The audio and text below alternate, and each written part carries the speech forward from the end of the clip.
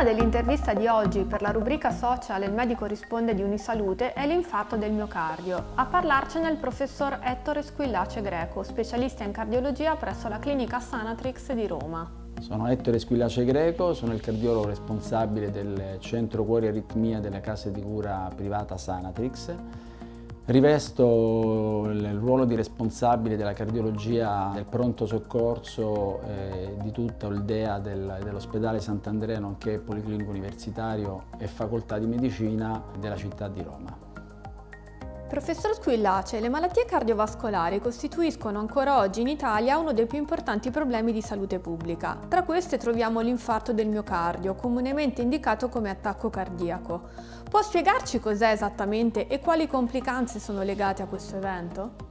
Certamente, l'infarto miocardio, eh, miocardico acuto che colpisce ovviamente il cuore, ma nella fattispecie le coronarie che irrorano il cuore, rappresenta ancora oggi una delle cause principali di, di morte nella popolazione mondiale, ma soprattutto nei, nei paesi industrializzati. E in che cosa consiste? Consiste nella occlusione di una delle coronarie principali del cuore che portano quindi ad una mancata erorazione di parti principali del cuore per cui eh, il paziente spesso si porta le mani al petto, ha questo attacco cardiaco, si crea questa mancata erorazione del cuore, quindi questo infarto che spesso se non si sopraggiunge entro i 90 minuti eh, nel riaprire la coronaria responsabile di questo infarto si può anche morire. Eh, professore, ci dettagli meglio l'importanza di intervenire entro i 90 minuti? I 90 minuti sono importanti dall'esordio del sintomo angina, in quanto eh, i 90 minuti eh, sono il tempo massimo per riaprire una coronaria. Cosa significa riaprire una coronaria? Che appena il paziente ha il dolore che potrebbe essere sospetto di angina, il paziente si deve recare subito al primo pronto soccorso, attivare una sala di emodinamica e il paziente deve sottoporsi ad una coronarografia in urgenza per poter riaprire in tempi rapidissimi la coronaria affinché l'occlusione della stessa coronaria non abbia provocato l'infarto e quindi una morte cellulare del cuore. Ma quali sono i sintomi più frequenti dell'infarto del miocardio? I sintomi più frequenti dell'infarto del miocardio sono la classica angina. Angina significa dolore. Dolore eh, al cuore e quindi alla parte sinistra del torace, con irradiazione al braccio sinistro, dietro le scapole, qualche volta anche in sede epigastrica dove c'è lo stomaco e qualche volta ancora anche sulla mandibola, tant'è che molti pazienti confondono l'angina con un dolore dei denti o a volte anche con dolore di stomaco. Professore, come si diagnostica l'infarto del miocardio e, e soprattutto in quale fase dell'evento avviene la diagnosi? Nella fase acuta dell'infarto è necessario eh, distinguere il dolore, il sintomo angina, quindi il dolore toracico che, che sia un dolore toracico tipico, cioè un dolore toracico che non si modifica né con gli atti del respiro né con la flesso estensione del tronco e neanche con la digitopressione, cioè premendosi il torace. Per ehm, definizione l'angina è un dolore al petto che non si modifica con nessuna di queste condizioni. In fase acuta bisogna fare un elettrocardiogramma e degli enzimi cardiaci, in particolare la troponina ultrasensibile, che ci danno eh, appunto l'indicazione, ci danno la certezza che c'è un infarto miocardico acuto in corso. Molto spesso ci troviamo di fronte ad infarti avvenuti già qualche giorno prima. In quel caso lì, oltre all'elettrocardiogramma e al sintomo, sicuramente la diagnostica di laboratorio è un'ecografia al cuore fatta in maniera, eh, come dire, dettagliata, ci danno le dimensioni e la tempistica dell'area infartuale. Cos'è e come funziona l'attacco coronarica? L'attacco coronarica è un attacco multistrato in cui ehm, il paziente si mette disteso su un lettino e questo meraviglioso strumento eh, che oramai ha preso piede in tutto il mondo ha la possibilità, mediante un minimo mezzo di contrasto e una minima esposizione ai raggi X, eh, stratifica, fa un'analisi una in strati di tutto il cuore di tutte le coronarie ed è un esame diagnostico che dura pochissimi minuti, non invasivo, che ci permette di eh, capire subito se il cuore di questo paziente è un cuore con delle coronarie malate o no. Professore, ma il rischio di infarto, ci dica, è uguale per uomini e donne? Quali sono i fattori che contribuiscono all'evento e quali eventualmente possono aiutare a prevenirlo? Diciamo che il rischio è pressoché uguale. E chiaramente la donna finché ha il proprio ciclo mestruale è sicuramente più protetta rispetto ad un maschio che non lo è mai. Ma la fa da padrona sicuramente la familiarità della serie che se in famiglia si ha un genitore, un parente stretto che ha avuto un infarto e allora il, quasi tutti noi abbiamo una grossa probabilità purtroppo di poterne subire uno anche noi. Eh, non c'è una grande differenza tra uomo e donna dal punto di vista sia della prognosi eccetera, ma sicuramente l'uomo che fuma, la donna che fuma o la donna che assume l'anticoncezionale ha sicuramente un rischio maggiore rispetto ad un soggetto normale.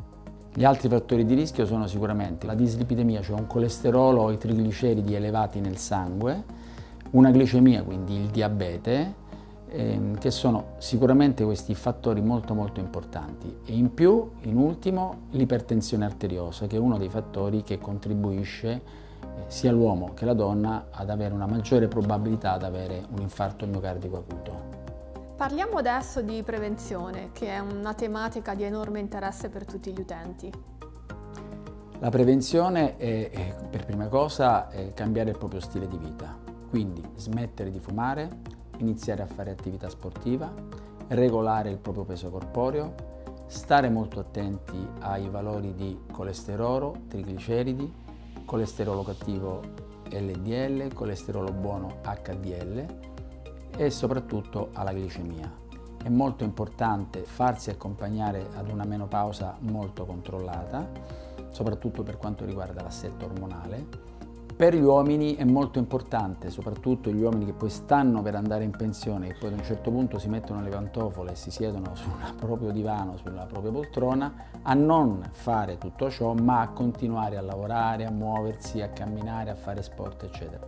È importante fare ovviamente dei controlli periodici in base anche all'età dei pazienti e al sesso. Ehm, ovviamente insomma, i ragazzi fino a 40 anni ehm, parlo di sesso maschile, eh, direi che basterebbe anche semplicemente fare un elettrocardiogramma e magari così eh, ogni qualche anno fare anche un'ecografia al cuore. Ma superato il 40 45 anno di età, uomini e donne dovrebbero iniziare a fare annualmente un check cardiovascolare che consiste in una visita cardiologica con una raccolta anamnestica dei fattori di rischio, della familiarità che è molto importante eh, dello stile di vita e delle malattie pregresse, fare un elettrocardiogramma, sottoporsi ad un'ecografia al cuore, eh, un elettrocardiogramma sotto sforzo che è un po' il test della verità per noi cardiologi. Ovviamente pazienti che hanno avuto dei pregressi eventi cardiaci, vascolari o cardiovascolari, i controlli devono essere più ristretti nel tempo, quindi anche semestrali, ma soprattutto i pazienti che hanno già avuto un, infarto o comunque hanno avuto delle problematiche vascolari periferiche, mi viene in mente eh, patologie carotidee delle arterie carotidi, che sono questi grossi vasi che collegano il cuore al cervello o delle arterie degli arti inferiori, allora questi sono pazienti altamente a rischio, per cui ribadisco il controllo deve essere molto più ravvicinato nel tempo. Professore, ci tolga una curiosità, morire di crepacuore, cosa possiamo dire? È un modo di dire, è un falso mito oppure è una situazione che può realmente verificarsi? Purtroppo è una cruda realtà. Veniva chiamato crepacuore e nel mondo odierno si chiama sindrome di Takotsubo perché Takotsubo è un collega cardiologo giapponese che scoprì questa sindrome ed è un infarto a coronarie sane che avviene con maggiore incidenza nelle donne piuttosto che negli uomini, soprattutto dopo delle crisi importanti emotive, degli shock, dei traumi, eccetera, per cui spesso eh, giungono alla nostra osservazione queste persone con un infarto vero e proprio, noi andiamo a fare una coronarografia e troviamo delle coronarie completamente sane. Molto spesso arriviamo in tempo e riusciamo a salvare il paziente, tante altre volte purtroppo non succede. Quindi l'aspetto emotivo è molto molto importante nella prevenzione e nella cura dell'infarto miocardico.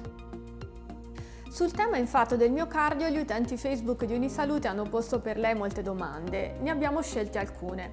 Eh, iniziamo con Marco, 47 anni, che ci scrive Ho sempre mangiato bene, sono una persona molto dinamica, ma un anno fa ho avuto inaspettatamente un infarto. Ora non so come riprendere la mia vita normale perché ho paura di tutto. Può aiutarmi, professore? Dopo un infarto ci si può riprendere benissimo a fare la propria attività lavorativa nonché la propria attività sportiva. Ovviamente dipende dall'entità dell'infarto e, ehm, e, sicuramente cosa, un fattore importante è il regime dietetico che bisogna seguire nel post-infarto. Bisogna essere magri, bisogna, bisogna evitare di mangiare grassi, bisogna stare attenti agli zuccheri, controllare tutti quei fattori di rischio che hanno portato all'infarto. Molti pazienti che hanno subito infarto ehm, e che dopo nel post-infarto hanno seguito queste regole sono ritornati a giocare sul campo di calcetto, a giocare a tennis, a pallavolo, a basket, a nuotare, eccetera. Professore, a Marco, rispetto agli aspetti psicologici, possiamo dare ancora qualche suggerimento? Noi cardiologi consigliamo sempre in questi casi di affidarsi anche ad uno psicologo per poterne parlare ed uscire da quel famoso tunnel in cui si trovano molti pazienti, uomini e donne, che hanno subito un, un trauma del genere. Continuiamo poi con Vincenzo che ci dice che quattro anni fa ha avuto un infarto acuto del miocardio e ci chiede oggi prendo ancora il Brillic, è normale? Direi di no, eh, dipende poi eh, che tipo di infarto ha subito mm, il nostro Vincenzo e quanti stent ha inserito nelle proprie coronarie. In realtà il Brilic, che è un, un antiaggregante di ultima generazione, si usa nei, nei primi sei mesi barra un anno dall'inserimento degli stent durante coronarografia in corso di infarto. Per cui procrastinare per altri quattro anni il Brilic mi sembra una cosa eccessiva, però ribadisco dipende dall'estensione dell'area infartuale e dal numero di stent inseriti e ovviamente dal, dagli altri fattori di rischio di cui soffre il nostro Vincenzo. Continuiamo con Nadia, 70 anni, infartuata nel 2006. Ha sempre eseguito controlli annuali e il mio problema, ci racconta, è l'aumento di peso, 5 kg dall'infarto, nonostante per mia abitudine dovuta a una certa inappetenza fin dalla giovane età non superi mai le 1000-1200 kcal giornaliere. Suppongo che la causa possa essere legata all'assunzione degli Isoptin 120, come riscontrato da un'amica che ha ritrovato il peso originario dopo averne smesso l'assunzione. Gradirei un suo parere, professore, grazie. Direi che sicuramente il controllo del peso corporeo è molto molto importante nel post-infarto, cioè i pazienti che hanno subito un infarto devono essere magri. L'isoptin, come tanti altri farmaci che noi usiamo eh, nell'infarto, possono creare un disturbo dell'alvo, la famosa stitichezza, per cui pazienti magari che già ne soffrivano o magari anche no, potrebbero avere un disturbo del genere e provocare quindi un mancato svuotamento intestinale, ma dare la responsabilità all'isoptin per un aumento del proprio peso ponderale mi sembra insomma, una cosa che, insomma, che, non ci sta. Quindi verosimilmente credo che alla base ci sia eh, o una disfunzione ormonale molto importante controllare la propria tiroide, soprattutto nelle donne ma anche nei, negli uomini, e affidarsi ad un nutrizionista valido. Giulia invece racconta che il marito ha avuto un infarto da poco. Forse abbiamo sbagliato, ci dice, ma per sicurezza abbiamo richiesto consulenza a diversi medici e ora abbiamo pareri discordanti. Secondo lei, dottore, quali controlli sono importanti dopo l'infarto e ogni quanto bisogna farli? Direi che affidarsi a diversi pareri è sbagliato, bisogna sempre affidarsi ad un solo parere, eh, anche perché bisogna, come dire, eh, avere fiducia in una sola persona e seguire quella persona che nella fattispecie dovrebbe essere poi il cardiologo di riferimento durante tutto il percorso del post-infarto. I controlli sono normali, sono sempre la, annualmente la visita cardiologica con un elettrocardiogramma, un'ecografia al cuore, un elettrocardiogramma sotto sforzo, ma soprattutto fare un TAC delle coronarie nel post-infarto per andare a ricontrollare eventuali altre stenosi coronariche, ma soprattutto lo stato degli stent coronarici. Lidia chiede infine, sono una sportiva, mi è sempre piaciuto fare running e andare in bici, posso continuare a farlo? E se sì, con quali accortezze? Assolutamente sì, ovviamente eh, prima di fare running o bicicletta, perché sono degli sport aerobici impegnativi, sarebbe meglio fare un elettrocardiogramma sotto sforzo e quindi testarsi prima. Durante un elettrocardiogramma sotto sforzo noi abbiamo la possibilità di andare a testare quale potrebbe essere la frequenza cardiaca massima teorica in ognuno di noi, quindi qual è lo sforzo massimo che potremmo raggiungere e soprattutto andare a vedere anche i valori di pressione arteriosa, molto importanti per chi ha avuto un infarto ma anche per chi non ha avuto un infarto. Per cui la risposta è sì, fare sport, fare running, fare bicicletta, ma fare prima un eh, testarsi e fare un elettrocardiogramma sotto sforzo. Si chiude qui l'intervista al professor Squillace Greco, che ringraziamo per la disponibilità e per la chiarezza con cui ha risposto ai nostri quesiti. E vi ricordiamo di seguire sui canali social di Unisalute e sul blog In Salute le interviste e gli articoli della rubrica Il medico risponde. Grazie per questa intervista, prendiamoci un'ora di tempo per il benessere del nostro cuore mi raccomando facciamo i controlli con una visita cardiologica, un elettrocardiogramma, un'ecografia al cuore, un elettrocardiogramma sotto sforzo e una TAC coronarica. Eh, mi raccomando sulle vostre abitudini di vita, non fumate, mangiate bene, ma soprattutto la raccomandazione è il tempo è muscolo. Prima si riapre una coronaria, meno danni facciamo sul nostro cuore.